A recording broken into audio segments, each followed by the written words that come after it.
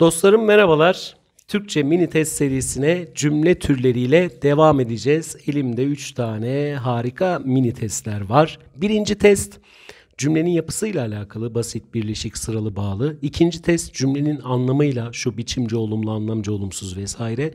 Üçüncü test ise hem yüklemin yerine türüne göre hem de yapı ve anlamı karma bir şekilde soran şöyle uzun sorulardan oluşuyor. 3 tane harika test.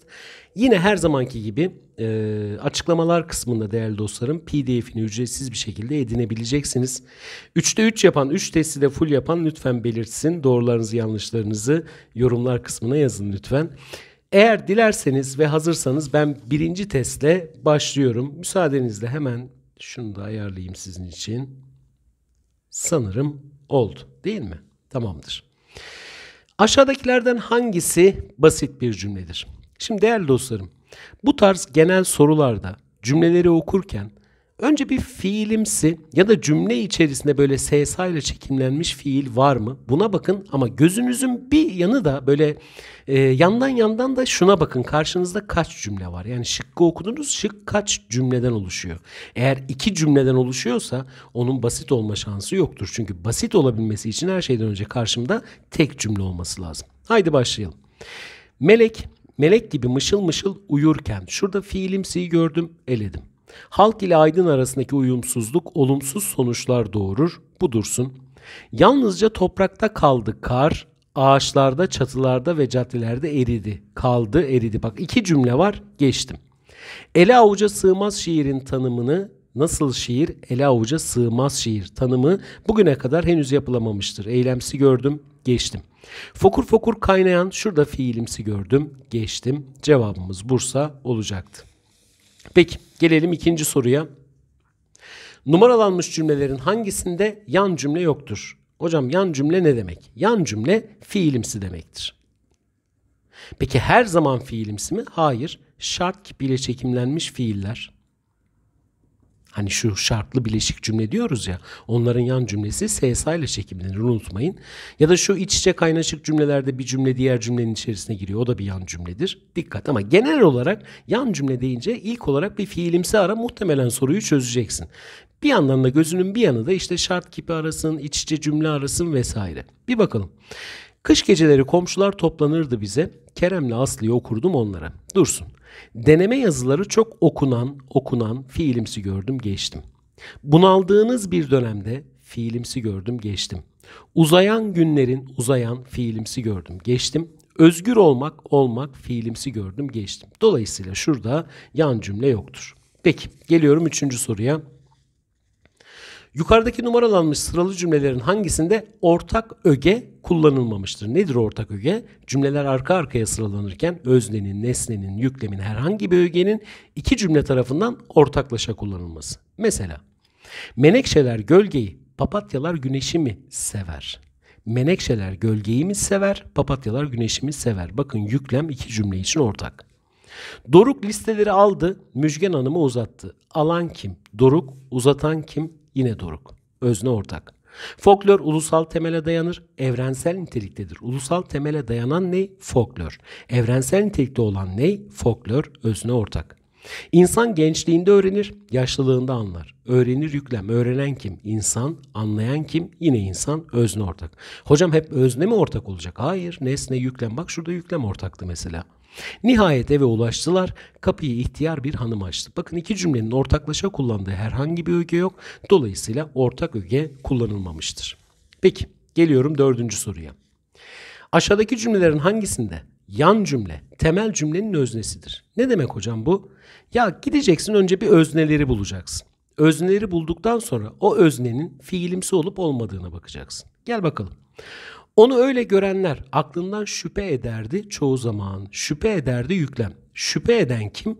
Onu öyle görenler. Özne. Öznenin içinde fiilimsi var mı? Var. E dolayısıyla yan cümle temel cümlenin öznesi olmuş. Cevabımız bu. Herhangi birini seçelim mi? Sanatın her alanında bir şeyler yapmaya çalıştım. Çalıştım yüklem. Kim? Ben. E ben fiilimsi değil değil mi? E hadi şuna da bakalım. Onurunu kişiliğini ayakta tutmak için savaş verirdi. Kim? O. O. Fiilimsi değil. Dolayısıyla cevabımız Adana. Peki geliyorum beşinci soruya. Numaralanmış cümleler yapıları bakımından eşleştirildiğinde hangisi dışta kalır? Haydi eşleştirelim. Madem bu kitap bu kadar kötüydü, bir, insanlar onu neden bu kadar çok seviyor? İki, iki tane cümle var, virgülle sıralanmış, dolayısıyla sıralı cümle. Ön yargı eyleme geçmeden kişinin o konuda düşünmesine yol açar. Tek cümle var, içinde fiilimsiler var, dolayısıyla birleşik cümle. Hayatta ilerledikçe yeteneklerimizin de sınırlarının genişlediğini görüyoruz. Yine birleşik cümle. Değil mi? Bak birleşik cümleler de tek cümledir basit cümlede olduğu gibi ama içinde yan cümleler vardır. Bu şiirler kanımızı kaynatıyor. Bir ama hemen unutu veriyoruz. Yine iki cümle ama bu sefer bağlaçla bağlanmış. Dolayısıyla buna bağlı cümle diyeceğiz. Sıralı demeyeceğiz, bağlı. Tanımlar öznel olabilir. Bu yüzden kişileri ortak noktada buluşturamaz. Sıralı cümle değil mi? Dolayısıyla şu iki sıralıyı birleştirdik. Birleşikleri birleştirdik. Bağlı cümle dışarıda kaldı. Cevabımız Denizli. Ama benim gözüme bir şeyler çarptı. Nasıl kaçmış bu gözümden benim? Tanımlar öznel olabilir. Şurada noktalı virgülün ne işi var Allah aşkına? Virgül olması lazım değil mi? Yanlış olmuş. Şurada da mesela anlatım bozukluğu gördüm. Bu şiirler kanımızı kaynatıyor. Hemen unutu veriyoruz. Bu şiirleri şuraya bir nesne gelmesi lazım değil mi? Ah ah ah Eyüp ah. Olmamalı böyle şeyler. Neyse devam edelim. Gelelim 6. soruya. Hangisi yapısı bakımından farklıdır? Genel bir soru yine aynı şeyi söyleyeceğim. Fiilimsi bakın ama gözünüzün ucuyla da karşınızda kaç cümle var. Ona da bir yandan kontrol edin. İşten erken çıkabilirsem Tamer'le ne yapacağımıza bak birden fazla yan cümlesi var zaten. Bu birleşik cümle. Kışın sıkı giyindiği için kardeşi gibi hastalanım. Evet geçelim. 1 kilo elma ile 3 kilo portakalla dünyanın parasını ödemiş. Bu dursun. Bu sömestr sonunda Oslo'ya dönmek üzere fiilimsi var. Erdemli bir yazar gerçeklere yalansız saptırmadan yaklaşır fiilimsi var. İçinde fiilimsi olmayan cümle buydu. Basit. Diğerleri birleşik. Evet. Gelelim 7. soruya.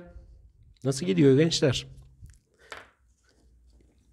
Yan yargı temel yargının farklı bir ögesi olarak kullanılmıştır. Ha, yan cümleleri bulacağız. Yani fiilimsileri bulacağız. Haydi bakalım. Çocukluğumdan beri bir anlam veremedim insanların sokaklara tükürmesine. Gerçekten de öyle. Neye anlam veremedim? İnsanların sokaklara tükürmesine derken bak burada eylemsi var ve cümlenin dolaylı tümlecinin içinde yer alıyor. Yani yan cümle temel cümlenin dolaylı tümleci. Küçük dalgalar beyaz köpükleriyle affedersiniz köpükleriyle çiçekler sunarak hışır hışır geri çekiliyordu. Nasıl geri çekiliyordu? Sunarak. Bak zarf tümleci olmuş değil mi eylemsi? Tamam. Yan apartmanın gölgesinde kaldığından bizim bahçede çiçek yetişmiyor. Niçin yetişmiyor? Kaldığından zarf tümleci. E cevap çıktı. Dolaylı tümleç. Bütün bir yılın yorgunluğundan bak yine niçin yorgunluğundan Gerçi bu yorgunluk eylemsi değil bir dakika. Sakin bir yaylada dinlenerek. Ah nasıl kurtulamazsınız? Dinlenerek, dinlenmek evet eylemsidir. Zarf tümleci yine. Özgün yapıtlar için uğraşırken ne zaman uğraşırken bakın yine zarf tümleci olmuş. Evet bu testin son sorusu. Kaç tane yan cümle vardır? Genellikle fiilimsi arıyoruz ama şart kipiyle çekimlenmiş fiil var mı? Ona da bakıyoruz dostlar. Aydınlık neyin oluyor senin? Gökyüzü akraban filan mı?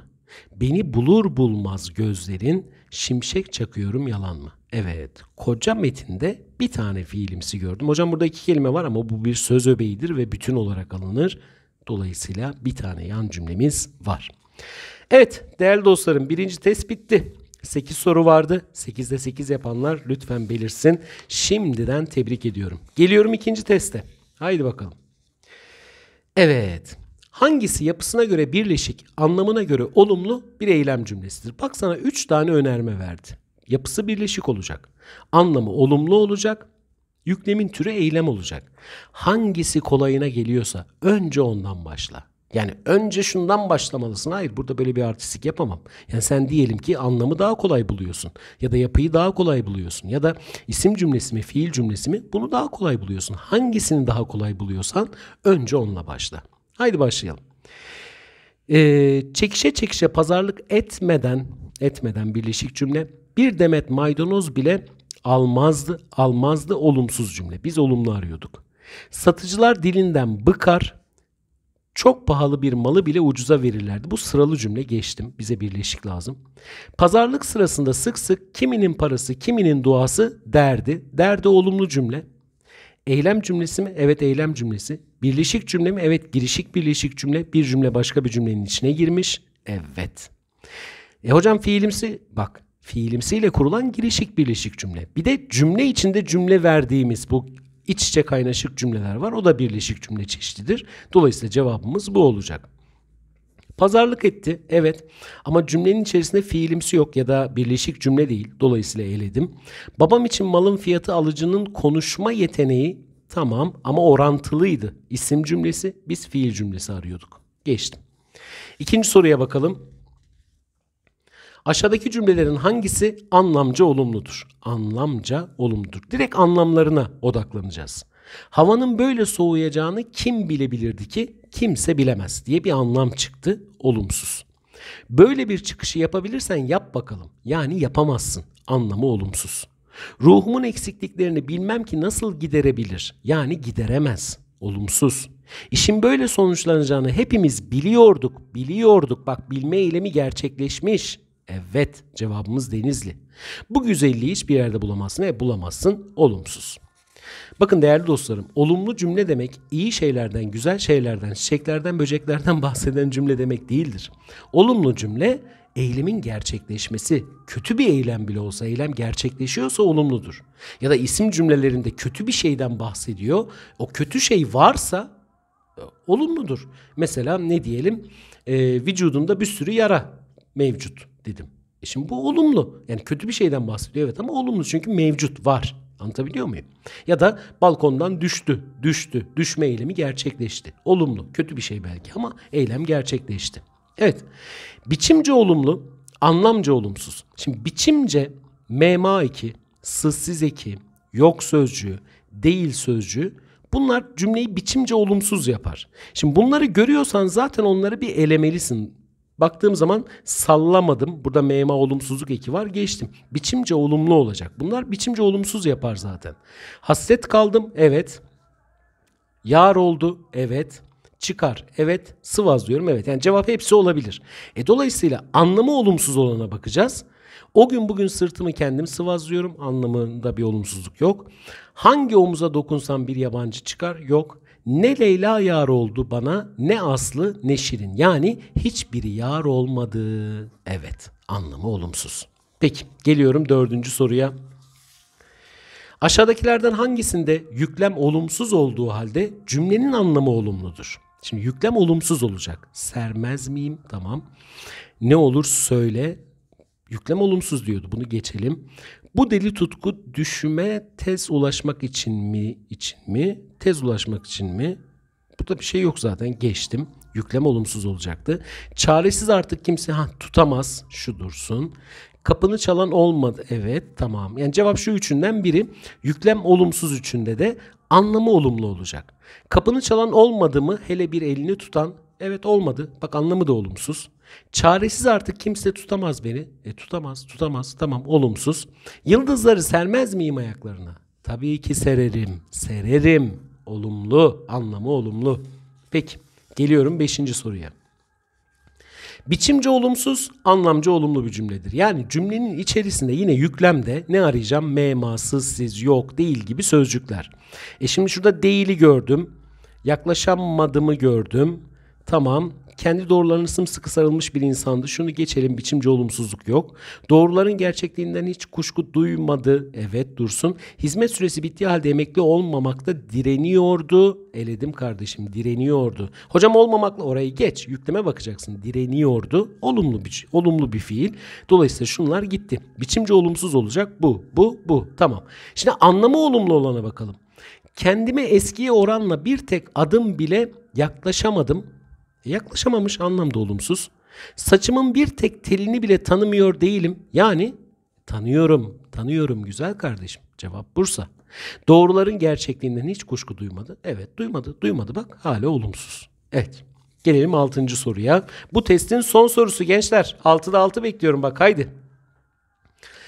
Bu cümle ve onu oluşturan sözcüklerle ilgili aşağıdakilerden hangisi yanlıştır? Öge dizilişi dolaylı tümleç yüklem şeklinde.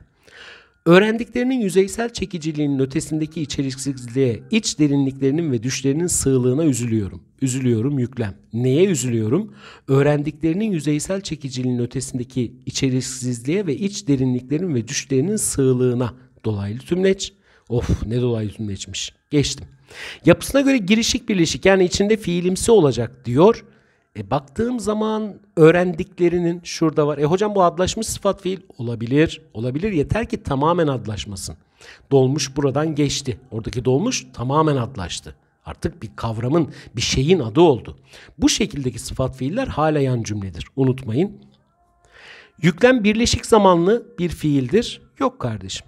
Birleşik zamanlı olabilmesi için iki tane kipeki olması lazım. Tek kipeki var. Burada kafayı karıştırmak istedim. Hani şu birleşik yapılı cümle, birleşik zamanlı fiil falan bunlar birbirine karışıyor mu? Tabii ki karıştırmadık. Kaçar mı bizden be? Anlamına göre olumlu bir cümledir. Üzülüyorum. Evet olumlu. Ama hocam kötü bir şey olabilir. Üzülme eylemi gerçekleşmiş mi? Gerçekleşmiş. Cümlede birden fazla tamlayanı olan belirtili isim tamlaması vardır. Hoba! Derinliklerinin ve düşlerinin sığlığı, derinliklerinin sığlığı, düşlerinin sığlığı birden fazla tamlayan evet. Bu test de bitti. 6'da 6 yapanlar tebrik ediyorum. Haydi bakalım devam. Son test.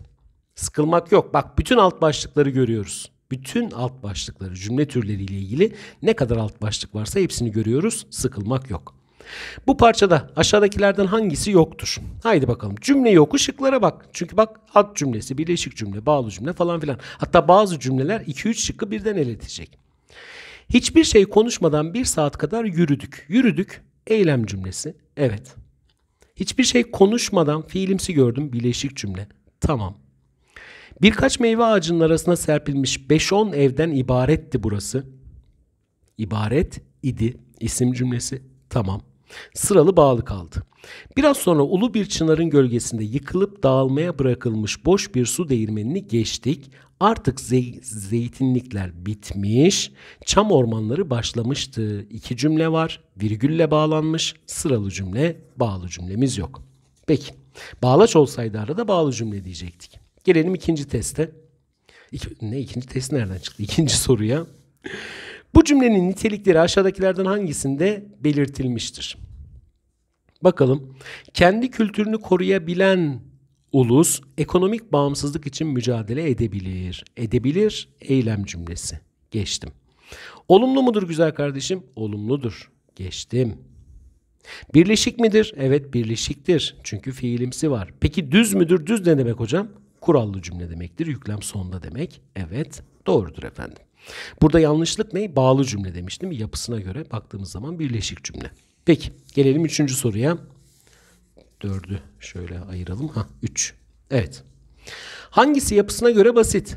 İçinde fiilimsi olmayacak. Tek cümle olacak. Söz dizimine göre devrik yüklem sonunda olmayacak. Eylem cümlesidir. Haydi bakalım. Açarak sarıldı yüklem sonda. Geçtim. Tüm renkli kişiliğine karşın vazgeçemezdi.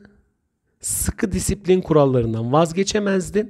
Devrik midir? Devrik. Eylem midir? Eylem. Peki basit cümle mi? Tüm renkli kişiye karşın evet fiilimsi yok. Dolayısıyla cevap bu. Diğerlerini hızlıca kontrol edelim.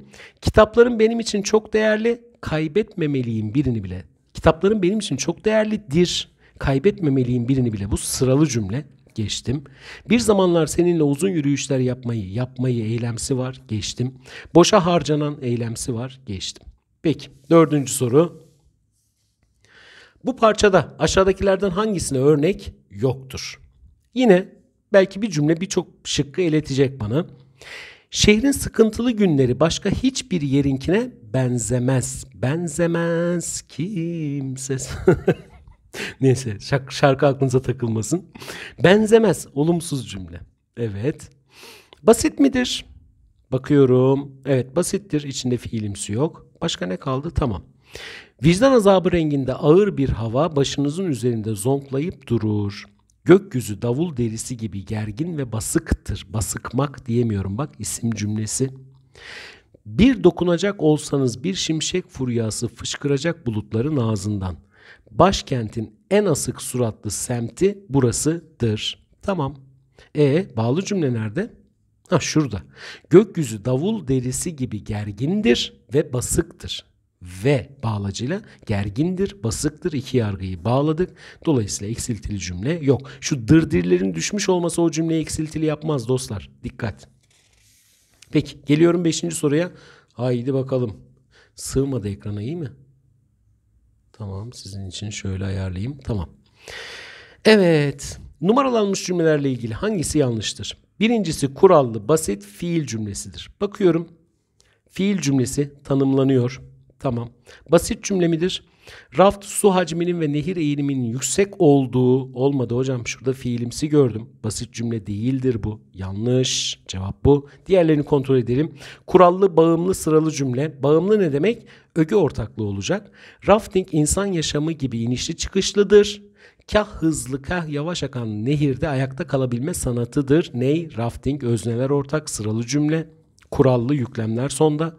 Üçüncüsünde 6 tane yargı bulunmaktadır. Yargı yani hem temel cümle hem yan cümle toplamı 6 olacak diyor. Çünkü yan yargı demedi. Sadece yargı dedi. Sayalım hemen bir bakalım. Bu sanatın gerçekleştirilmesi sırasında vadiler, kanyonlar geçilirken sert dönüşlerle karşılaşılır. Aşılması zor etaplar gelir. Fiillerin ve fiilimsilerin altını çizdim. Toplam 6 tane. 6 tane yargı var. Dördüncüsünde yan yargı nesne görevindedir. Bakalım ileri sizi bekleyen tehlikeleri göremezsiniz. Neyi göremezsiniz? Sizi bekleyen tehlikeleri bekleyen bak fiilimsi var. Tamam. Beşincisi devrik bir basit cümledir. Götürür. Yüklem sonda değil. İçinde fiilimsi yok. Dolayısıyla basit cümledir. Tamam. Haydi bakalım. Altıncı soru. Oo 20 dakikayı geçmişiz. Olsun. Canınız sağ olsun. Hadi devam. Bu cümlede aşağıdaki verilerden hangisi yoktur? Tanımadığımız bir ressamın resmine bakarak onun milliyetini çıkaramayız ama o resmin çağını ve okulunu kestirebiliriz. Bu bağlı bir cümledir değil mi? Bağlı cümle koyduk mu? Koymadık. Peki olumsuz olumlu diyor çıkaramayız olumsuz kestirebiliriz olumlu bu doğru. Eylem midir? Çıkarmak, kestirmek eylemdir. Doğru. Birden fazla yan cümle bakarak bir, tanımadığımız iki, Doğru. Kurallı cümle evet birinci cümle sonda, ikinci cümle sonda kurallı cümledir. Tamam sıralı cümle değil bu bağlı cümledir. Haydi son soru. Evet. Yorulduk ama değdi bence. Bu parçada numaralanmış cümlelerle ilgili aşağıdakilerden hangisi yanlıştır? Birinci cümle girişik birleşik bir eylem cümlesidir. Olmalıdır eylem cümlesi. Bilimin tek amacı insanın ayakta durabilmesi. Eylemsi gördüm. Tamam girişik birleşik. İkinci cümle koşullu birleşik düz yani kurallı bir cümledir. Bilim adamı özgürlük içinde olmaz da yönetenin baskısı altında yalnız bilim için bilim yapmaya zorlanırsa şartlı birleşik oraya işe yaramaz sakat bir bilgi yığını çıkar ortaya demiş. Evet yüklem sonda birleşik tamam. Üçüncü cümle basittir olumludur. Bakalım o zaman da yeni icatlarınızla insanlığın acılarını arttırırsınız. E bakıyorum basit mi? Ee, evet. Olumlu mu? Arttırırsınız. Olumlu. Hocam kötü bir şey olsun. Eylem gerçekleşiyor mu ona bakıyoruz. Dördüncü cümle öznesi ortak bağımlı bir sıralı cümledir. Zamanla bir sürü yeni şey bulabilirsiniz ama bu buluşlarınız ilerleme değil insanlıktan kopmadır. Şimdi güzel kardeşim sen bu cümleleri ama bağlacıyla bağladın. Dolayısıyla bunun sıralı cümle olma şansı yok. Bağlı cümledir bu. Beşinci cümle ki'li birleşik cümle olumlu bir eylem cümlesidir. Bakalım günün birinde öyle bir uçurum açılır ki Evet iki bağımsız yargı yeni bir buluşun bir yanda yarattığı sevinç öte yanın tüyler ürpertici çığlığı ile çatışır. Çatışır, açılır. Evet iki cümleyi ki bağlacıyla bağlayınca buna ki'li bileşik cümle diyeceğiz. Bazı kaynaklar bağlı cümle olarak da alıyor. Olumlu mudur? Açılır, çatışır. Evet. Eylem midir? Eylemdir. Doğru. Evet sevgili dostlarım biraz yorulduk ama değdi bence. Cümle türleriyle ilgili bütün alt başlıkları görmüş olduk. Kendinize iyi bakın. Görüşmek üzere diyorum. Hoşçakalın dostlarım.